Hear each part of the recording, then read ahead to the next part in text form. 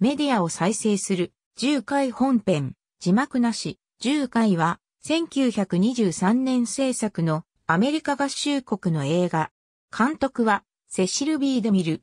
映画は2部構成となっており、第1部で旧約聖書の物語を、第2部は現代の物語を描く。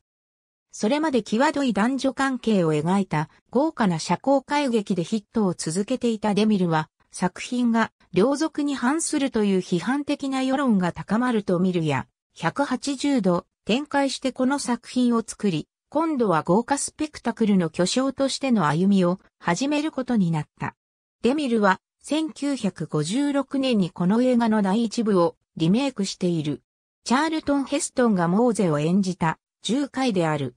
第一部はモーゼがイスラエルの民を連れてエジプトを脱出、市内産で10回を受けるというおなじみのお話である。モーゼはセオドア・ロバーツ、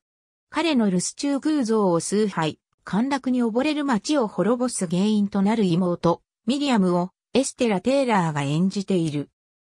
第2部の現代編はこの旧約聖書の物語を母親が二人の息子に読んで聞かせたという形で始まり、真面目、人間に成長した兄に対し、金儲けのためには、不正文字さぬ弟は、妻がいるのに愛人に溺れ、建築工事に不正を行い、現場を訪れた母を不正工事で崩れた壁のために死なせる羽目となり、おまけに不正もバレたので、愛人に金策を頼みに行くが冷酷に跳ねつけられ、しかも彼女から病気を感染させられたと知って射殺、モーターボートで逃亡する途中、嵐にあって最後を遂げる。ありがとうございます。